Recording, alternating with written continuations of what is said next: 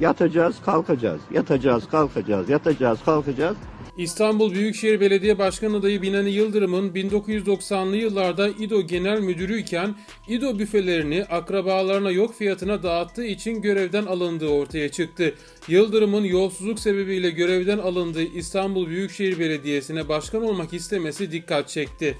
Ben başkan oldum, ben başkan oldum. 1994 yılında İDO Genel Müdürü olan Binali Yıldırım 1999 yılında akrabalarına İDO'nun büfelerini dağıttığı için dönemin belediye başkanı Ali Müfit Gürtın'a tarafından görevden alındı.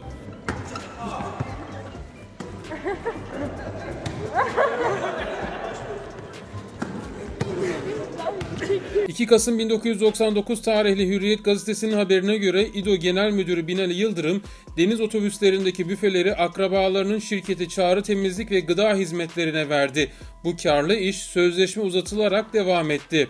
Sayın Cumhurbaşkanımız her şeyi takdir eder ama onu belli etmez. Babam da bizi severdi ama hiç sevdiğini belli etmezdi. 1994'e kadar İDO'ya bağlı gemilerdeki büfeler işletici firmaya gemilerin temizliği, hizmeti ve iç bakımı karşılığında tahsis ediliyordu. İDO kiraları ödeyemeyince işi kendi yapmaya başladı. Binali Yıldırım işin başına dayısı Yılmaz Erence'yi getirdi. Yılmaz Erence İDO'nun maaşlı elemanı olarak burayı işletmeye başladı. Sonra Yıldırım burayı bir firmanın işletmesi gerektiğine karar verdi ve işi Kasım 1996'da Çağrı Temizlik ve Gıda Hizmetleri adlı bir şirketi temsilen Yılmaz Erence'nin gelini Behici Erence'ye verdi.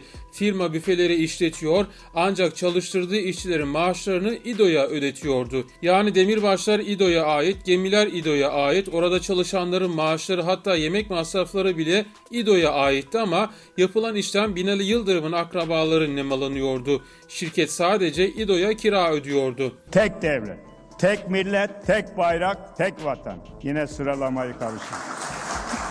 Cumhurbaşkanım sürekli bana diyor ya şunu hala sıralamasını doğru yapamadın. Binali Yıldırım 1999'da şirketle ikinci bir ek sözleşme yaptı. Buna göre çalışanların maaş ödemeleri olarak İDO'nun firmaya kişi başına 205 milyon aktarmasına karar verildi.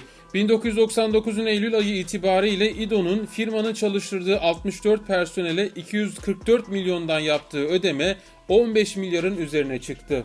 Benim elimden tuttunuz, siz çekiyorsunuz, ben geri çekiyorum. Siz çekiyorsunuz, ben geri çekiyorum. Sonra bana dediniz ki ya ver elini dedi, tebrik edeceğim, elini havaya kaldıracağım dedi. Ben de dedim ki çok alışkın değiliz Sayın Cumhurbaşkanı.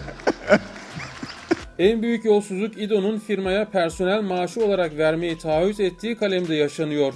Personel İDO'nun firmaya verdiği kişi başı personel giderlerinin hepsini maaş olarak almıyor. Büfe yolsuzluğu sadece deniz otobüsleriyle kalmıyor. İskelelerdeki büfeleri de kapsıyor. Binali Yıldırım Kabataş iskelesindeki büfeyi amcası Ali Rıza Yıldırım'a düşük fiyatla kiraladı.